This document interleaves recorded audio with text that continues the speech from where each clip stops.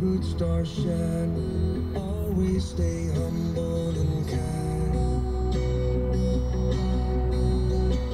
Go to church, cause your mama says to. Visit grandpa every chance that you can.